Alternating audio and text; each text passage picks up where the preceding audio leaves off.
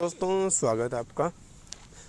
राजस्थान में बीजेपी की सरकार आई प्रचंड बहुमत के बाद, मुख्यमंत्री बने भजन लाल और वित्त मंत्री बनी दिया कुमारी। दिया कुमारी ने कल बजट जो पेश किया इस बजट में खूब सारी बातें ली थी, लेकिन बहुत निराशाजनक बजट था। खास इसमें कुछ बातें नहीं मिली हैं। अगर आप मीडिया की वाहवाही को छोड़ दें तो आप जब एनालिसिस करेंगे बजट का तो आपको बजट में कुछ खास नहीं मिलने वाला है। तो बात करें इस पर अशोक गहलोत ने अपनी प्रतिक्रिया दी और अशोक गहलोत क्या कहते हैं? राजस्थान के वित्त मंत्री महोदय द्वारा पेश किए गए लेखानुदान में प्रदेश के विजन की बजाय पूर्ववर्ती सरकार पर आरोप ही दिखाई देते हैं। पहले की सरकार पर सिर्फ़ आरोप और आरोप और आरोप लगाए और प्रधानमंत्री मोदी जी की तारीफों के पुल इस बजट में बांधे गए हैं। विजन की बजाय पूर्ववर्ती सरकार पर आरोप दिखाई दिए। वित्त मंत्री ने कहा कि राजस्थान सरकार पर कर्ज दो लाख करोड़ रुपए बढ़ गया। मैं उनके जानकारी में लाना चाहता हूँ, क्या कहते हैं?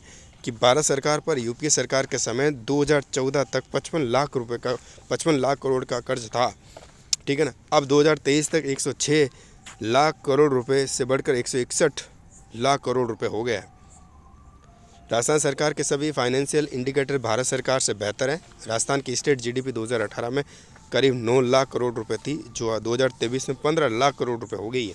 बहुत अच्छी बढ़ोतरी है ये।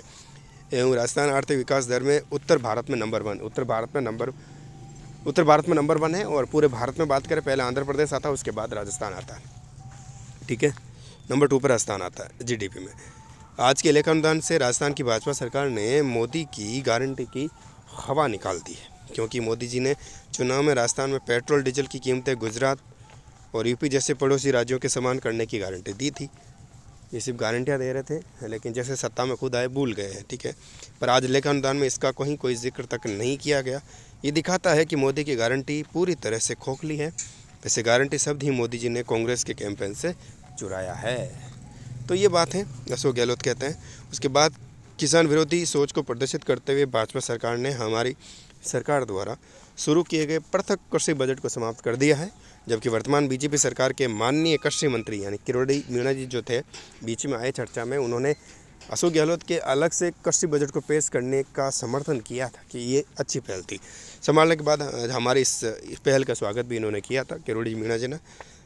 लेखानुदान में सीतापुरा से अम्बाबुड़ी मेट्रो की डीपीआर की घोषणा करना बताता है कि 10 वर्ष पहले भी हमारी सरकार का विजन सही था। अगर पूर्वती बीजेपी सरकार ने इसका काम बंद नहीं किया होता तो कम लागत में मेट्रो तैयार हो चुकी होती। आज जयपुर में बनी भारी ट्रैफ़िक जाम की स्थिति नहीं बनती। तो जून 2015 में मेट्रो आई थी और ये देश की छठवीं मेट्रो थी, ये भी याद रखिएगा। और ये अशोक गहलोत की देनी ही है। ठीक है? तो अशोक गहलोत की इस स्टेटमेंट, इस टिप्पणी पर आप क्या कहना चाहेंगे? और आप बजट में आपको क्या मिला? ज़रूर बताएँ कमेंट बॉक्स में, चैनल को सब्सक्राइब कर लीजिएगा।